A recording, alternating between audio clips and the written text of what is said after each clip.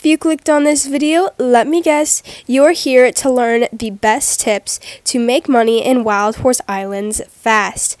So, I'm Lemon and I will be showing you guys the absolute best methods to earning tokens quickly and easily here in Wild Horse Islands.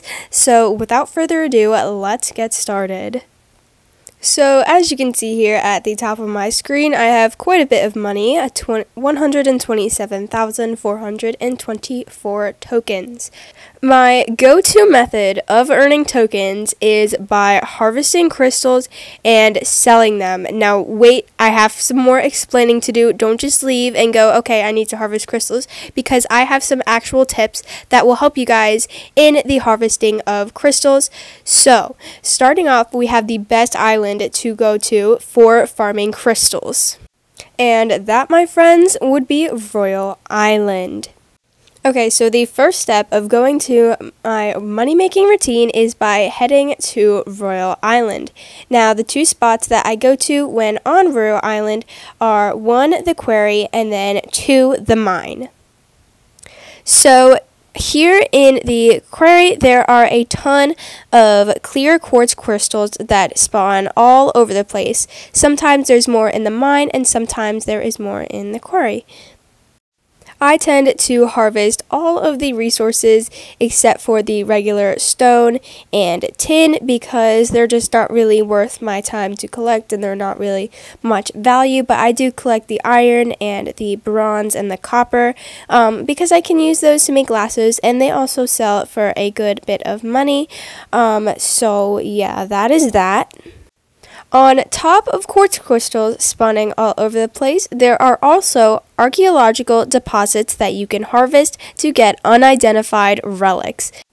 In the quarry, don't forget to go to the little clump of rocks over there on the wall and use your fireworks to blow those open so then you can get all of the stuff inside of there. If you don't know how to get fireworks, I made an older video of that. Um, uh, a while ago, so you can go check that out. I explained how you get that. Um, but, anyways, after you are done harvesting all of your resources at the quarry, you can reset your character instead of climbing all the way out um, and then going all the way over to the mine. Just resetting will save you that step. And then once you have finished getting everything over at the mine as well, what you're going to want to do next is go up and visit Cal on top of Castle Hill. If you happen to see a horse, make sure and catch that. I will go into more detail on um, horse catching in a little bit. But if you do see a horse, it doesn't matter what horse, just catch it if you happen to see one, and then head, keep on heading up. I know it was a quarter horse. Those are kind of bad, but look at that. It had a rare friendliness stat, so I guess you never do really know. Okay, here we are up at Cal, and what you're going to want to do is identify your unidentified relics. Now, if you haven't done that already, all you have to do is complete some quests for Cal. He will tell you how much you need to do, and then you should be able to identify them. And there we go, we got some accessories. There also has happens to be some free tokens available for me at the top of my screen, so make sure to get that. A tip for getting more tokens is just by joining the Happy Acres developer group, and then you can earn a bit of extra tokens when you redeem that. Um, I also like checking up here when I'm up on Castle Hill because sometimes um, Clear quartz crystals and unidentified relics will sometimes spawn up here. This time it seems we got a bit unlucky. Um, but anyways, that is that. And then you're going to go head on back down to Larry and sell your findings. I have a few other accessories from unidentified relics that I have not sold yet, so I will be selling those as well. We're going to sell this brown leather stuff that I got because I don't really have a need for that. I do like keeping the purple crystal items to sell at my market stands because people will pay good money for those purple crystal items because they look pretty cool and special, so, you know, I would just keep those to sell separately um, at a market stand. And then all these other items you can just go ahead and sell. Here we have eight unidentified relics, and I can sell them for 4,178 tokens just by mining a couple uh, um, archaeological deposits.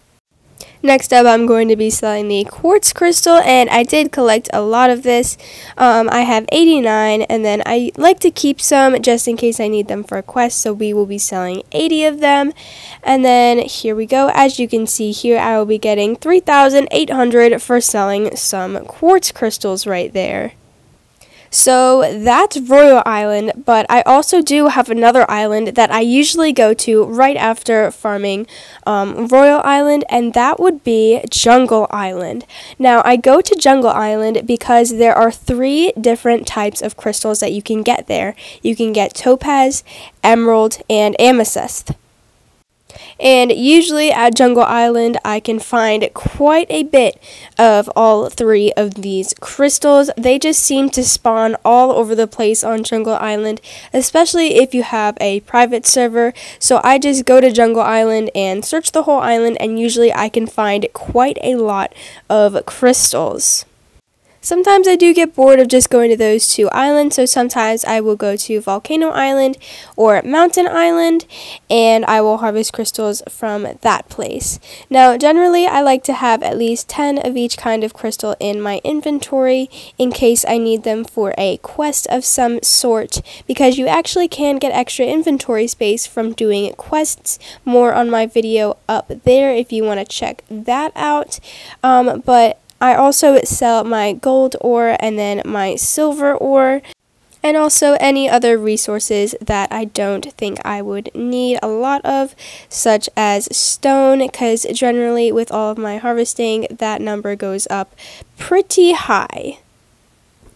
So here we go. We've got all of these items to sell, and I can sell them all for a total of 19,898 tokens.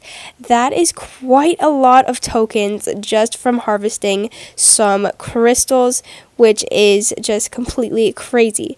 Another method is you can collect seashells and stuff along the beaches. I'm going to show you how much they can sell for. But basically, if you happen to see something on the beach as you are running around, such as seashells, pearls, fabric, rope, leather, any of that sort of stuff, just pick it up and then it can just kind of pile up in your inventory. As you can see, I have quite a few shells here, and I can sell shells for 13,000 1,150 tokens. Now, that is quite a lot right there. So, if you happen to see them lying on the beach, I would recommend picking up some shells.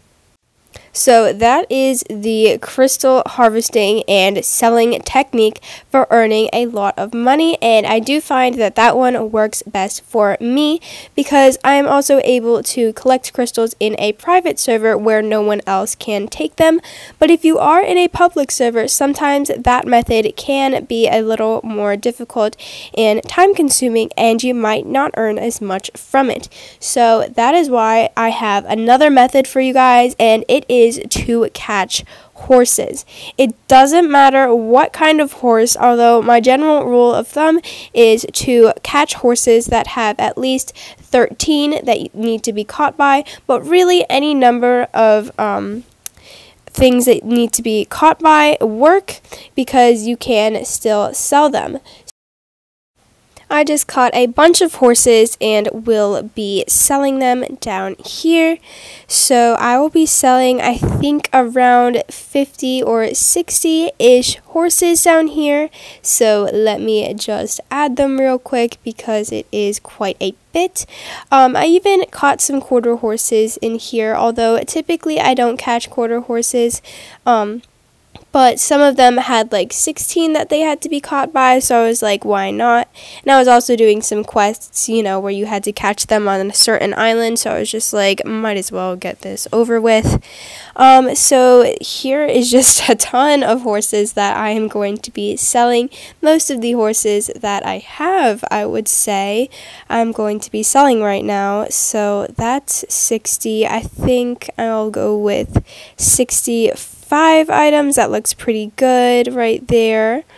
Okay, and then I can earn 19,904 from selling 65 horses that I caught.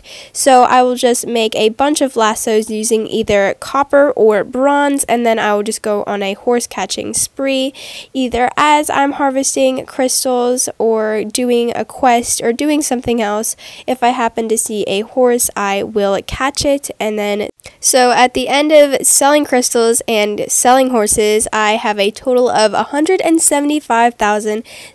175,671 tokens. That went up by like 50,000 ish. I think I kind of forget the number I had at the beginning, but all I can say is that is a lot. So those are that is pretty much my farming method is Royal Island, Jungle Island, catch horses, pick up seashells. And that is where I earn the bulk of my money. Also, though, when there are events out, make sure to play the events, and then if you have any accessories that you don't like from those events, you can sell those because I also earn a lot of money during events just by selling extra event accessories. So, that is one little bonus tip for earning money that I have for you guys. Um, so, yeah, thank you guys so much for watching this video. I hope that it helped you guys get a bit more richer in Wild Horse Islands. Subscribe for more Wild Horse Islands content, and I hope to see you all in the next one. Bye, everyone.